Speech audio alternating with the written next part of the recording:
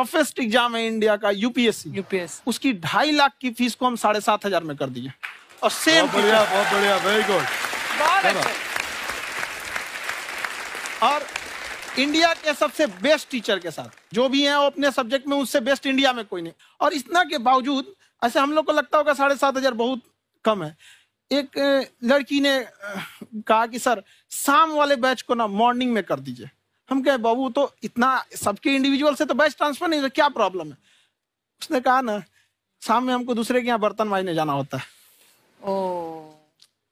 तो हम लोग को लगता है कि जितना ये तकलीफ़ इससे कई गुना जाते हैं। और कई बार तो ऐसा लगता है कि वो भी ना ले।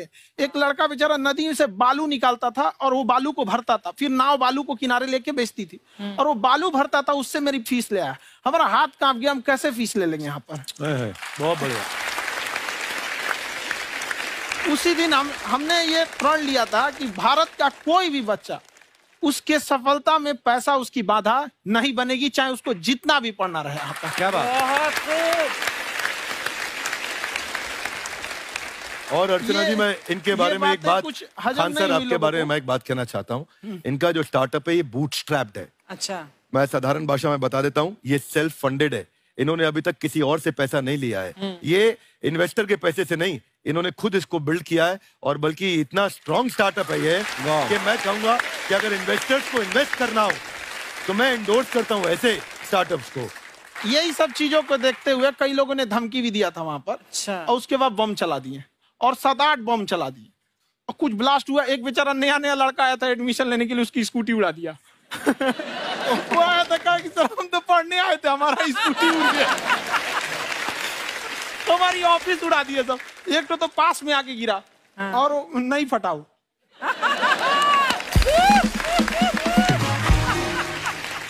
बाद में बहुत सारे लोग धमकियाँ दिए। लेकिन कहते हैं ना सूरज कितना भी तेज चमक ले समंदर नहीं सुखा सकता। वाह वाह वाह क्या बात है। मैम एक्चुअली ये फ़ीस कम करने का एक और रीजन है। हाँ। ढाई लाख तीन लाख की जो फ़ीस में सब लोग पढ़ाई अफोर्ड नहीं कर पाते। हाँ। इसलिए वो कुछ ही लोग अफोर्ड कर पाते। हैं तो उनका मेंटल लेवल तो बहुत ऊपर चला जाता है। हाँ। लेकिन एक पूरे देश का मेंटल लेवल थोड़ा सा स्टेबल नहीं हो पाता। तो जब फ़ीस कम रहेगी तो हर वो लड़का तैयारी करने के लिए आगे आएगा जिसका सपना है देश के लिए कुछ करने का। अच्छा। सीटें लिमिटेड है उन्हें को मिलेगी। लेकिन जिन्हें नहीं मिलेगी उसे मिलेगा देश का एक जिम्मेदार नागरिक। तो इस देश को बदलना। क्या बात है। हम लोग विश्व गुरु कहे जाते थे। क्यों? क्योंकि दुनिया से लोग हमारे यहाँ पढ़ने आए थे। चाइना से हैंसांग आया फायान आया। आज कोई नहीं आता है। हम लोग का उद्देश्य एक समय आएगा जो फिर आएँगे यहाँ पढ़ने के लिए। है पर आप देखो अर्चना जी सबसे ज़्यादा आईपीएस आईएएस बिहार से निकलते हैं आप देखो। पढ़ाई लिखाई में पॉलिटिशियन बहुत बड़े बड़े निकले हैं। तो ऐसा नहीं है ऑप्शन भी नहीं है वहाँ पे। इंडस्ट्री नहीं है। खेती करेगा तो कोई खास वो नहीं रहे। ऑप्शन भी नहीं है सही बात है। बिहार की मिट्टी में एक चीज़ है। जिद तो बहुत ज़बरदस्त है। कुछ भी नहीं रहेगा तो सब कुछ पाने का उसको जिद रहेगा करके भी दिखा देगा वहाँ पे। कर देंगे हम यहाँ पे। विवेक सर आपके बारे में हमने सुना एक बार आप संन्यास लेने चले गए थे। कौन वापस लेके आया आपको फिर? कहाँ तक पहुँच गए थे आप?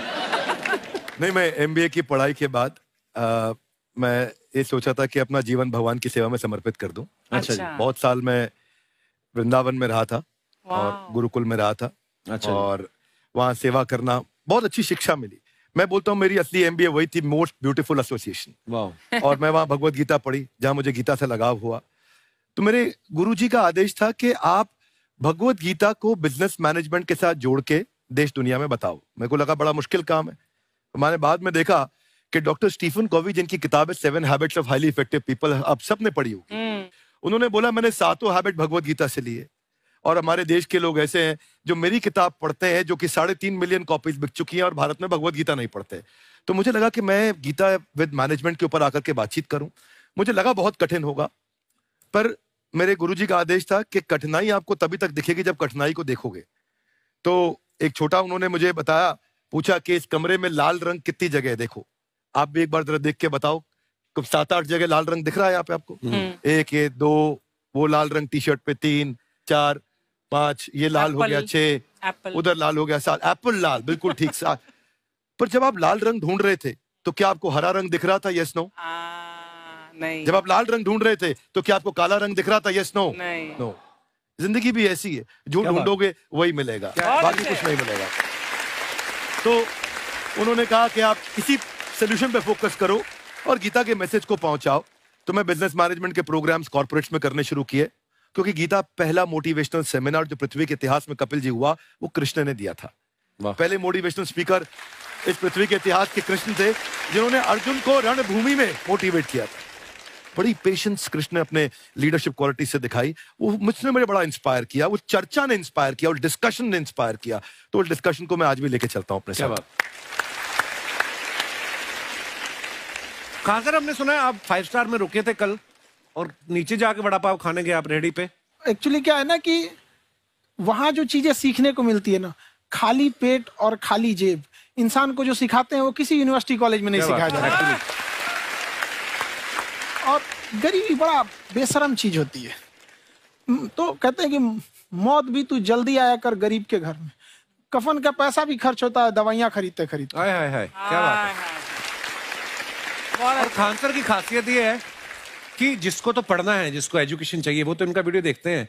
लेकिन वैसे भी कई लोग जैसे अर्चना जी बात करी थी कहती मैंने जब देखना शुरू किया तो मैंने बैक टू बैक इतने सारे वीडियोस देखे क्योंकि आपका जो तरीका जो बोलने में एक तो इनकी जो टोन है पढ़ाने में और साथ साथ में जो ह्यूमर आता रहता है तो उसकी उसकी वजह से और भी इंटरेस्टिंग हो जाते हैं आपके वीडियो शुरुआत में हम हम लोग जब स्टूडेंट लाइफ में थे या हम कई स्टूडेंट को भी देखते हैं वो बेचारे जब थक जाते हैं तो आपका शो देखने लगते हैं। तो शुरू शुरू में हमको लगता था जब इसमें कि अरे यार हमारे पढ़ाई उसके लिए है लेकिन पढ़ाई में थक जाता है शो देख के नहीं थक जाता। है। हाँ। तो हमने सोचा दोनों को मिक्स कर देते हैं। अच्छा। तो हमने उसको और आज आपको पता नहीं हमने भी यही किया है। मिक्स करने हमारे एजुकेशन सिस्टम में दो कमी है। हाँ। एक एजुकेशन की दूसरा सिस्टम की।